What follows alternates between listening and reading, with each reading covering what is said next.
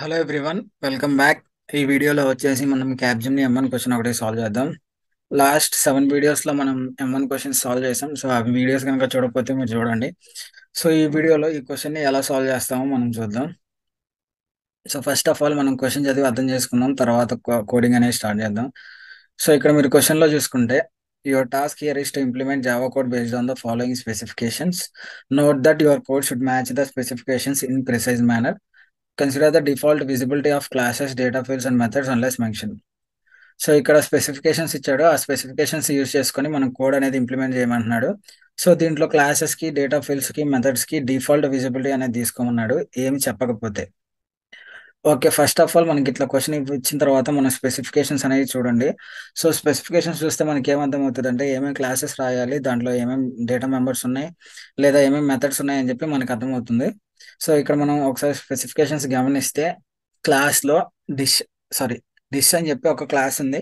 Dish test అని చెప్పి ఒక క్లాస్ ఉంది. టోటల్ టూ క్లాసెస్ ఉన్నాయి. సో డిష్ అనే క్లాస్లో ఒక డేటా మెంబర్ ఉంది. String type. దాని నేమ్ వచ్చేసరికి డిష్ నేమ్. ఇంకోటి వచ్చేసరికి డిష్ అని చెప్పి ఒక పారామీటర్ పారామీటరైజ్డ్ కన్స్ట్రక్టర్ ఉంది. ఇంకోటి ఏం చెప్తున్నాడంటే define getters and setters with public visibility. So setters getters define చేయమంటున్నాడు ఆ క్లాస్లో.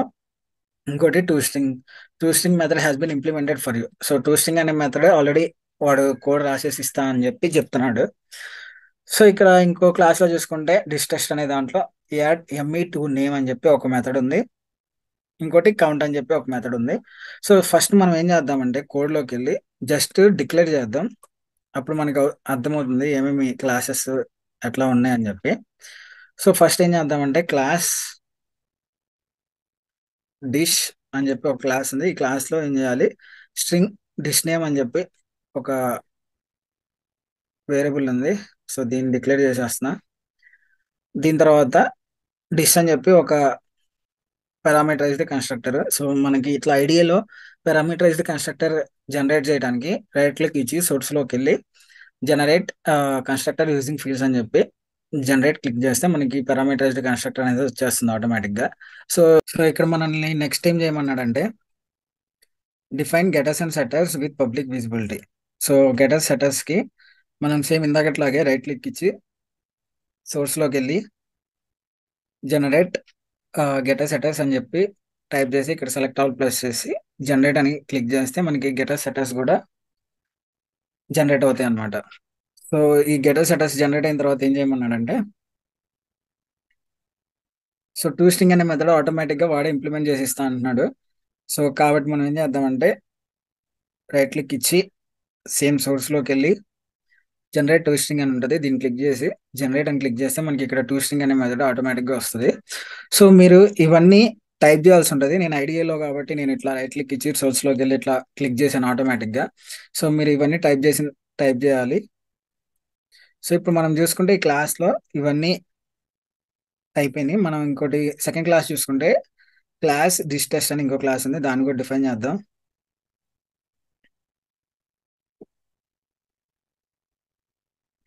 Class dish test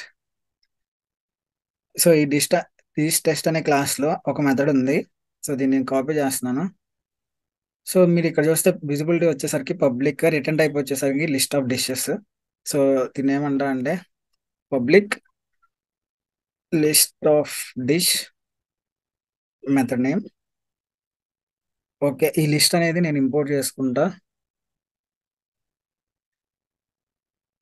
okay just define చేసాం. తర్వాత నెక్స్ట్ మెథడ్ కూడా మనం డిఫైన్ చేద్దాం.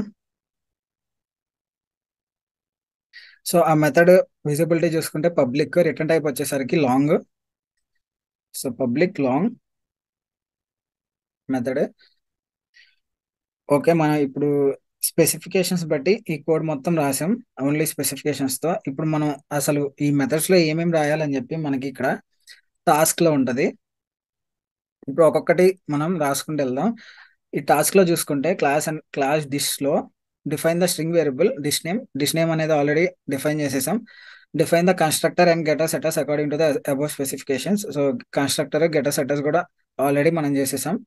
To string method has implemented for you as a part of the code step ఇది ఈ పాయింట్ ఏంటంటే ఆల్రెడీ టూ స్ట్రింగ్ అనే మెథడ్ వాడే ఇస్తానని చెప్తున్నాడు. సో కాబట్టి ఇది ఇంప్లిమెంట్ చేయాల్సిన అవసరం లేదు. కాబట్టి మనం అవుట్పుట్ చూపించాలి కాబట్టి మన దాంట్లో నేను ఇంప్లిమెంట్ చేశాను. సో ఫస్ట్ ఈ మెథడ్లో ఏం చేయాలని చెప్పి ఇక్కడ చెప్పాడు. సో ఈ మెథడ్ డెఫినేషన్ ఇప్పుడు రాద్దాం. సో ఈ మెథడ్లో ఏం చేయాలంటే add ME to dish name refer the sample output format output for the format out it out it into a list and return the list so ఇక్కడ ఏం చెప్తున్నాడంటే శాంపిల్ అవుట్పుట్లో చూడండి. ఈ ఫార్మాట్లో మనకి అవుట్పుట్ అనేది రావాలి. సో అన్ని డిష్కి ముందు మనకి ఎమ్మి అని చెప్పి ఇట్లా యాడ్ అవ్వాలి అని చెప్పి చెప్తున్నాడు. ఇక్కడ చూసారు కదా ఎమ్మి అని. సో డిష్ డిష్ నేమ్స్ ముందు అట్లా ఎంఈ అనేది రావాలని చెప్పి ఈ- అవుట్ అవుట్పుట్ ఫార్మాట్లో ఇలా రావాలని చెప్పి మనకి చెప్తున్నాడు.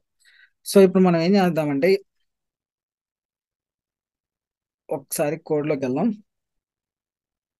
సో ఇప్పుడు మనం ప్రతి ఒక్క డిష్ నేమ్కి ముందు ఎంఈ అని యాడ్ చేయాలి కాబట్టి ఏం చేస్తానంటే నేను ఫస్ట్ ఒక లిస్ట్ తీసుకుంటా లిస్ట్ ఆఫ్ డిష్ అని చెప్పి డిష్ లిస్ట్ అని నేమ్ ఇస్తా.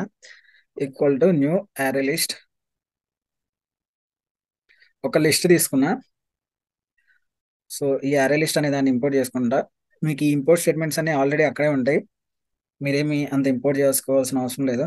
సో ఇప్పుడు నేనేం చేస్తానంటే ఒక్కొక్క డిష్ని ట్రావెల్స్ చేసుకుంటూ దానికి ముందు నేను ఎమ్మి అనేది యాడ్ చేస్తాను. సో దీనికి ఎలా చేయాలంటే ఒక ఫర్ లూప్ యూస్ చేస్తున్నాను. So dish D in dish list sorry in list so ఏదైతే లిస్ట్ వస్తుందో మనకి ఆ లిస్ట్లో నుంచి ఒక్కొక్క డిష్ని మనం ఇక్కడ తీసుకుంటున్నాం. సో తీసుకొని ఏం చేస్తున్నా అంటే dish dish equal to new dish of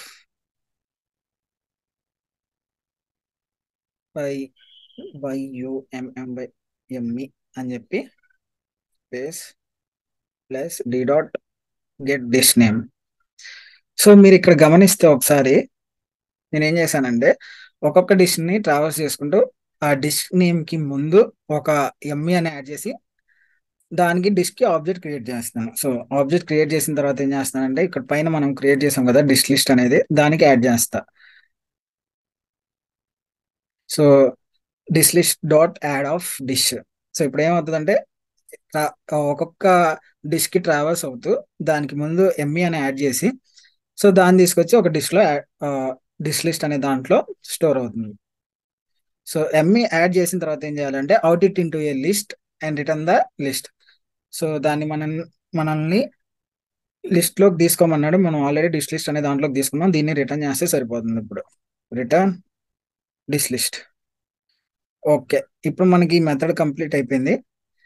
so ఇప్పుడు మనం నెక్స్ట్ మెథడ్లో ఏం చేయాలో చూద్దాం. సో ఈ లాంగ్ అనే మెథడ్లో return the count of dishes having the having string S in name.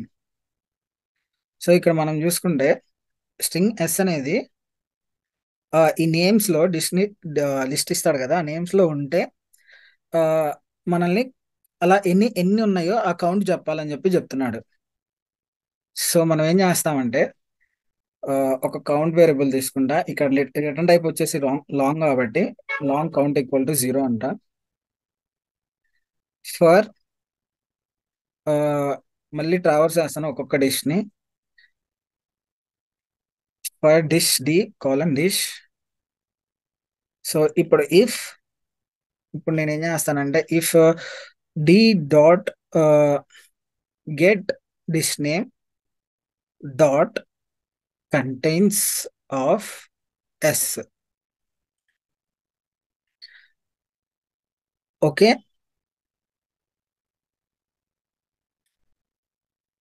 so ఇప్- ఇప్పుడు ఒకసారి చూడండి నేను ఏం చేశానంటే D dot D dot get dish name అని చెప్పి తీసుకుంటున్నాను. ఆ డిష్ నేమ్ తీసుకొని దాంట్లో కంటైన్స్ అనే మెథడ్ ఉంది కదా మనకి స్ట్రింగ్స్లో. ఆ కంటైన్స్ యూజ్ చేసి ఏదైతే స్ట్రింగ్ పాస్ చేస్తాడో ఆ స్ట్రింగ్ ఉందో లేదో చెక్ చేస్తాను. ఒకవేళ అది కనుక ఉంటే ఏం చేయాలి? కౌంట్ని ఇంక్రిమెంట్ చేయాలి. Count equal to count plus one okay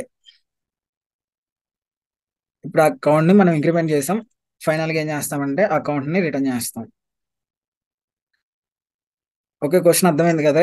ఈ దీనికి జస్ట్ మనం ఆ లిస్ట్లో ఉన్న నేమ్స్ సో వాడి ఒక స్ట్రింగ్ ఇస్తాడు లిస్ట్ ఇస్తాడు.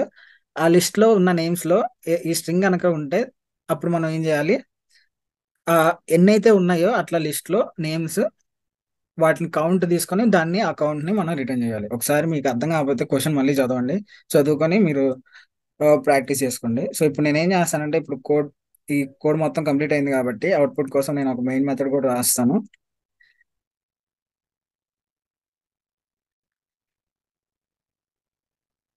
సో ఇక్కడ మనకి sample test case sample input ఉంది కదా. సో దీన్ని కాపీ చేస్తా. కాపీ చేసి ఇక్కడ పేస్ట్ చేస్తున్నాను. సో మీరు మెయిన్ మెథడ్ రా రాయకపోయినా మీకు ఎగ్జిక్యూట్ అవుతుంది. కాబట్టి మీరు అంతా రాసినా పర్వాలేదు రాయకపోయినా పర్లేదు ఇక్కడ ఎర్రర్ వస్తుంది.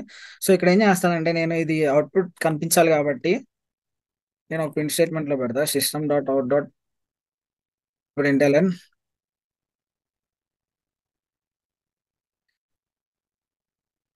print స్టేట్మెంట్లో పెట్టాను. ఈ స్టేట్మెంట్ కూడా నేను ప్రింట్ స్టేట్మెంట్లో పెడతా.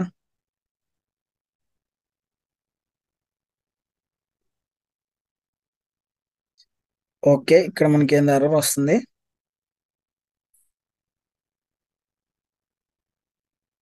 Add ME to name the method ME to name is not applicable for the argument list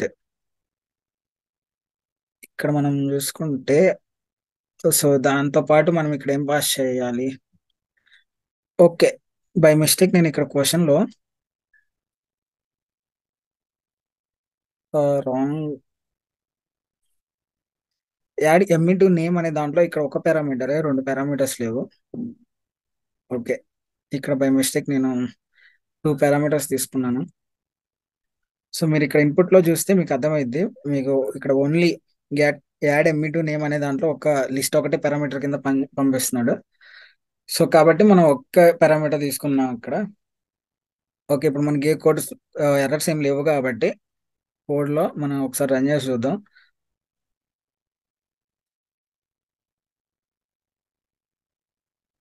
so మీరు ఇక్కడ చూసుకుంటే మనకి వాడు ఇచ్చిన అవుట్పుట్ లాగా ఇక్కడ శాంపిల్ అవుట్పుట్ చూసుకుంటే డిష్ ఇట్లా dish name equal to ME అని చెప్పి ఇట్లా వస్తుంది ప్రతిదానికి. ఇక్కడ చూసుకుంటే dish name equal to ME dish name equal to ME ఇట్లా వచ్చింది ఎవ్రీ డిష్ నేమ్కి ముందు. సో వాడు ఇచ్చినట్టే మనకు అవుట్పుట్ వచ్చింది. కింద మనం చూసుకుంటే జీరో అని వచ్చింది.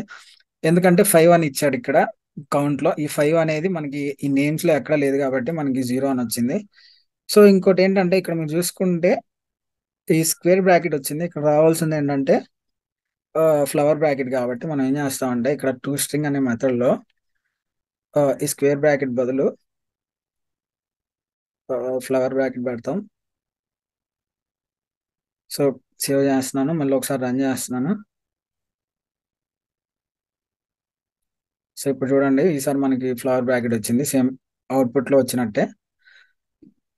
సో వేరే వేరే టెస్ట్ కేసెస్ కూడా మీరు ఒకసారి ఎగ్జిక్యూట్ చేసి చూడండి. సో ఇది ఇలా మనం కోడ్ అనేది రాసాం. ఈ వీడియో నచ్చితే మీరు లైక్ చేయండి. Thank you so much.